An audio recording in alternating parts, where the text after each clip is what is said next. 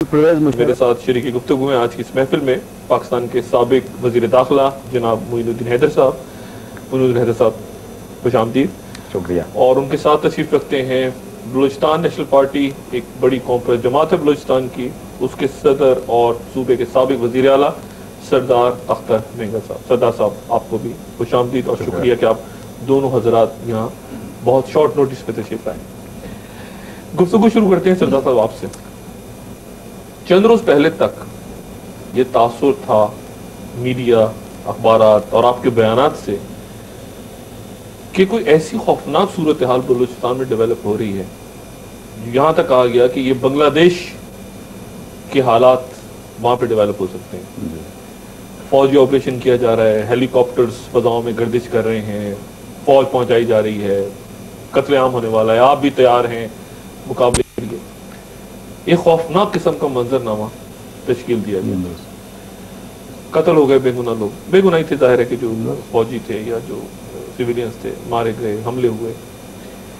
और उस पूरी अग्रेसिव टोन के बाद अचानक एक कमेटी बनी सबक वजी अजम चौधरी शुजातुद्दीन साहब की तरफ़ से। कुछ और से चिलमन मुलाकातें हुई और सब कुछ जो तूफ़ान था वो अचानक तहलील हो गया कहीं तो ये आप क्या करते हैं आप लोग?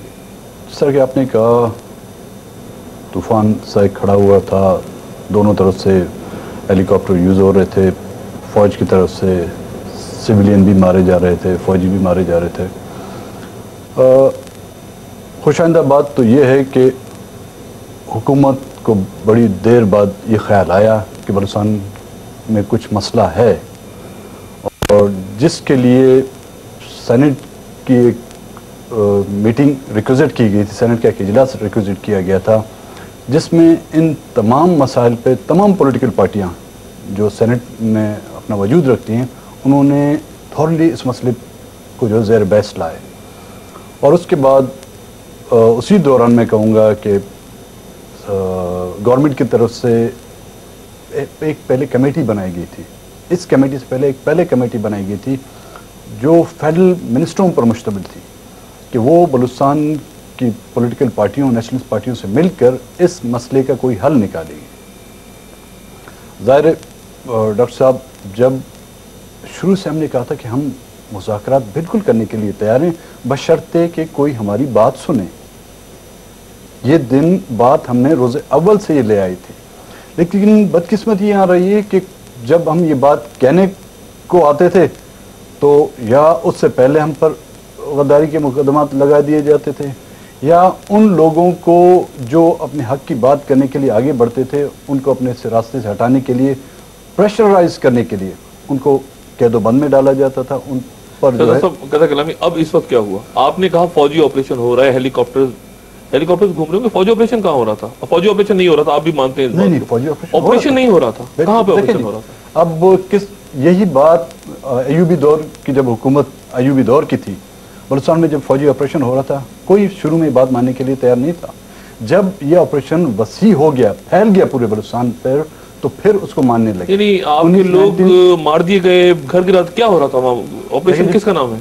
किस टर्म को आप ऑपरेशन कहते हैं? फौज हेलीकॉप्टर घूमने को तो ऑपरेशन नहीं कहते नहीं नहीं हेलीकॉप्टर ने बाकायदा वेपन यूज़ किए वहाँ पर। अच्छा। आपके जो डिस्ट्रिक्ट हेडक्वार्टर हॉस्पिटल हैं ग्वादर डिस्ट्रिक्ट हॉस्पिटल वहाँ पर इमरजेंसी नाफिज की गई थी। अच्छा। वो फौजी रिहर्सल के लिए वो प्रैक्टिस के लिए तो नहीं किए जाती यानी सिविलियंस को हिट किया गया वहाँ? गाँव जो थे क्योंकि अब उनको पता चला कि किसी ने उनको गलत इन्फॉर्मेशन दी थी। इन इलाकों में जो है ना लोग छुपे हुए हैं। और बलुस्तान एक ऐसा इलाका है कि जहाँ पर पानी होगा वहाँ पर आप, आपको आबादी मिलेगी। ये एक जनरल लोगों सिविलाइजेशन का एक वो हिस्सा है कि जहाँ पर पानी होगा वहाँ पर आपको आबादी मिलेगी। और बलुस्तान में क्योंकि उन इलाकों में पानी की बहुत कमी है। मकरान का जो इलाका है खासकर कोस्ट का आपका इलाका है वहाँ पर पानी के इर्द गिर्द जो है लोग आबाद हैं। किसी ने इन्फॉर्मेशन दे दी जी जिन्होंने चाइनीज़ पर हमला किया है वो यहाँ पर आके छुपे हुए हैं। तो ये इन्फॉर्मेशन दिलाने वाले भी ये खुद हैं और उसको इम्प्लीमेंट कराने वाले खुद हैं। उन्होंने आओ देखा ना ताओ उन इलाकों को घेरे में ले लिया लोगों को घरों से निकालते लिए। ज़ाहिर हर एक बाइज़त शख्स जो तो अपने आप सर्च ऑपरेशन हो रहा था यानी सर्च ऑपरेशन कहेंगे आप। This- नहीं सर्च ऑफ़िस जब किसी के घर में बला वजह आप जाएँगे तो वो लामला रजिस्ट करेगा। मेरा कोई कसूर नहीं है। तो इस रजिस्टेंट के बदले में जो ना उनमें क्लैश हो गया। और अभी तक क्योंकि वो इलाका उन्होंने इस तरह घेरे में लिए हुआ है, अभी तक आपकी मकामी इंतजामिया को वहाँ पर जाने की इजाज़त नहीं। हाँ वहाँ के इलाके के लोग ये देख रहे थे कि एयरपोर्ट से हेलीकॉप्टर उठ रहे हैं, जा रहे हैं और ग्वादर में टैंक तक लाए गए हैं। मैं ये नहीं समझता, ये किसी डेवलपमेंट का तो हिस्सा नहीं हो सकते, टैंक और हेलीकॉप्टर यूज़ करना। तो उन इलाकों में, क्योंकि इलाका शहरी आबादी से दूर है तो वेपन्स की आवाज़ें भी, शोर भी सुनाई दे रहा था दूर दूर तक लोगों को। अब जो ये कमेटी बनाई गई है जो सेनेट में, मैं ये नहीं कहूँगा कि मसला खामोश है। लोग लोग एक आखिरी उम्मीद लगाए बैठे हैं कि शायद इससे कुछ मसला हल हो। और अगर यही कमेटी, पिछली कमेटियों की तरह अपनी रिपोर्टें पहुँचाने में नाकाम रही, या ईमानदारी से, नेक नीयती से उसने उन इलाके के मसाइल को गौर से ना देखा तो शायद फिर मसले अब से ज़्यादा बिगड़ जाएँ। मुनीर साहब मसला सेंसिटिव हसास मसला है बलूचिस्तान का हमेशा से। पिछले सत्तावन साल तारीख में ऑपरेशन हुए यूब खान के दौर में भुट्टो के दौर में और अब भी मामला बहुत ज़्यादा सहल अंदाज में नहीं लेने चाहिए। क्या वजह है कि इस्टेब्लिशमेंट क्या इस्टेब्लिशमेंट इन हसास मामला को हसास अंदाज में देखती है या ये समझती है हर हुकूमत या हर दौर इकदार में यही समझा जाता है कि मसाइल का हल सिर्फ़ ये है कि जाओ और जाके कुचल दो मार दो पकड़ लो खामोश करा दो। जी जी। ऐसे काम हो सकता है। नहीं जैसे हुआ है पिछले सतावन सालों में। ये तो मैं नहीं कहूँगा कि हर वक्त हर जगह फोर्स इस्तेमाल की गई है या हर दफ़ा किसी बात को किसी पर ठूसा गया है।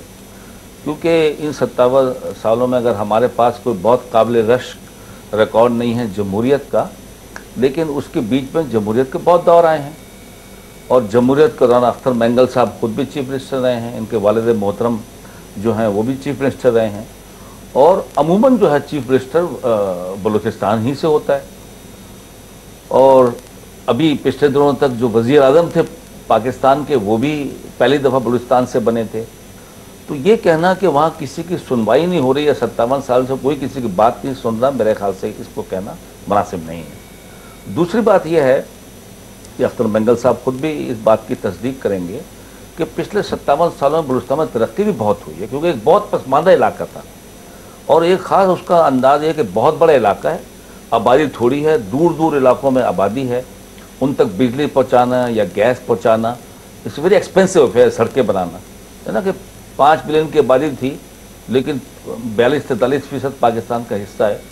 तो छोटी सी आबादी के लिए आपको बहुत तवील सड़क बनानी पड़ती थी लेकिन ये अख्तर बेंगल साहब भी या बलूचिस्तान का हर आदमी इस बात को तस्लीम करेगा कि बलूचिस्तान को सिंध के साथ, फ्रंटियर के साथ, पंजाब के साथ सड़कों का जाल बिछाया गया है, आरसीडी हाईवे बनी है, उत्थल विंदर हब के इंडस्ट्रियल इलाके बने हैं।